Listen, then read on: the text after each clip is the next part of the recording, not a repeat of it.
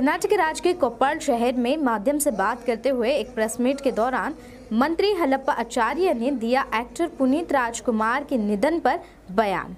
इस press meet के दौरान मंत्री हलप्पा आचार्य ने कहा कि एक्टर पुनीत की मौत की खबर ने पूरे राज्य भर के लोगों को झंझोड़ कर रख दिया है। तो वहीं कन्नड़ा राज्य उत्सव के बाद मंत्री ने संवाददाता सम्मेलन में ये बात कही है और इसके अलावा साथ ही साथ राजनीति मामलों में उन्होंने कहा कि बाई इलेक्शन के लिए बीजेपी के नेतृत्व बम्बई करेंगे। सिंदगी बाई इलेक्शन पर बीजेपी की तैयारियों के प्रति सराहना की गई है और इसके अलावा आठ नवंबर से राज्य भर में आंगनवाड़ी केंद्र की शुरुआत होने की भी उन्होंने इस प्रेस मीट में सूचना स्पष्ट की है।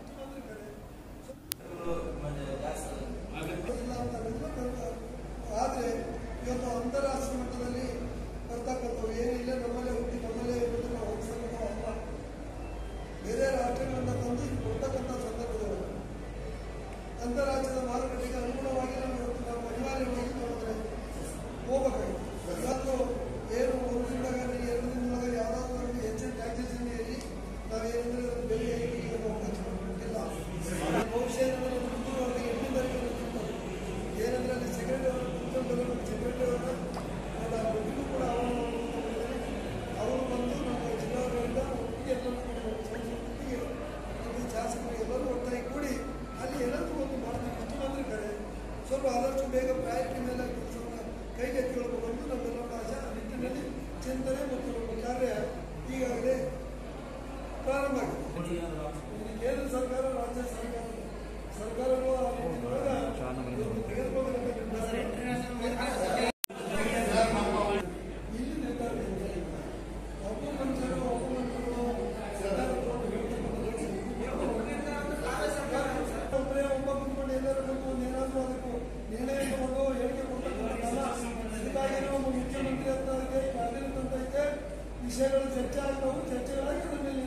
ಸರ್, ಅಂತಾರಾಷ್ಟ್ರೀಯ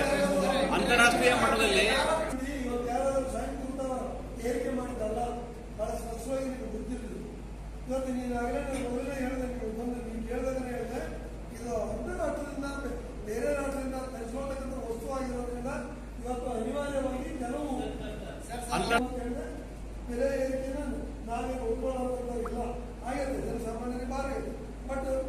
ಸಾಂದರ್ಭಿಕವಾಗಿ ಅನಿವಾರ್ಯತೆ ಅನ್ನೋದನ್ನು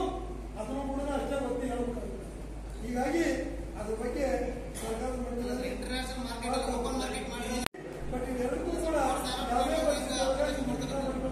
ಕಂಟಿನ್ಯೂ ಮಾಡಬೇಕು ಅಂತ ನಿಮ್ಗೆ ಸರ್, ಈಗಾಗ್ಲೇ- ಹದಿನೈದು ತಾರೀಕು ಅಂಗನವಾಡಿಗಳು ಪ್ರಾರಂಭ. ಮಂತ್ರಿಗಳಿಂದಲೂ ಅದು ಈಗಾಗಲೇ ಒಂದು ಸರ್ವೆ ಟೀಮ್ ಕಳಿಸಿದ್ದು ಸರ್ವೆ ರಿಪೋರ್ಟ್ ಹೋಗಿರುತ್ತೆ ಬಂದ ನಂತರ ಸರ್ವೆ ಟೀಮ್ ಹೋದಾಗ ಸರ್ಕಾರದ ಮಟ್ಟದಲ್ಲಿ ಏನು ಚರ್ಚೆ ಮಾಡಿ ಅದಕ್ಕೇನು ಸಾಧಕ ಬಾಧಕ ಎಲ್ಲವೂ ನೋಡಿ ಅದ ಅಲ್ಲಿ ನಮಗೂ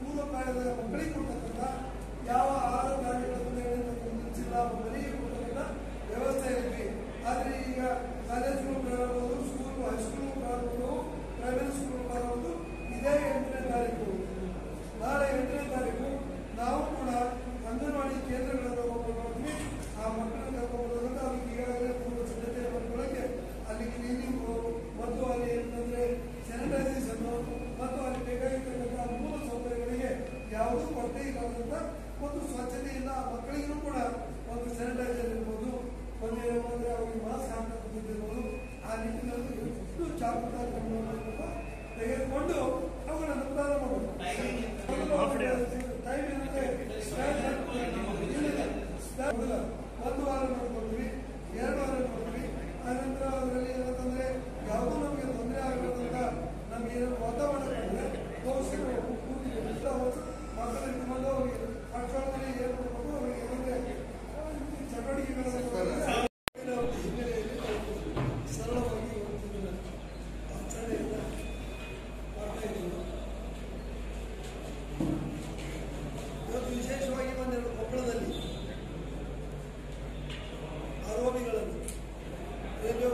ಸಂಸ್ಥೆಗಳನ್ನು ಒಂದು ಕುಟಿ ತಾಲೂಕು ಕುಟಿ ರೋಡಿಗೆ ಒಂದು ಇನ್ನೊಂದು ಕಿಡಿಗೇರಿ ಅಂತ ಮತ್ತು ಹಾಗೆ ನನ್ನ ಅನುಕೂಲದವರಲ್ಲೇ ಕೆಲವು ಪೂಜಾ ಕಾರ್ಯಕ್ರಮಗಳನ್ನು ಗೋಶಾಲೆ ಒಂದು ಮತ್ತೇನೆಂದರೆ ಅಲ್ಲಿ ಘನತ್ಯಾಜ್ಯ ವಿನಿಯೋಗ ಒಂದಿಷ್ಟು ಸ್ವಸಹಾಯ ಗುಂಪುಗಳಿಗೆ ಚಟುವಟಿಕೆ ಮೊನ್ನೆ ಆಗಿರ್ತಕ್ಕಂಥ ಪುನೀತ್ ರಾಜ್ಕುಮಾರ್ನ ಒಂದು ಆಕಸ್ಮಿಕ ಸಾವು ಬಹುಶಃ ಇಡೀ ಕರ್ನಾಟಕದ ಜನರಿಗೆ ಒಂದು ದಿಗ್ಭ್ರಮೆ ಮೂಡಿಸಿದ ಸಂದರ್ಭ. ಈ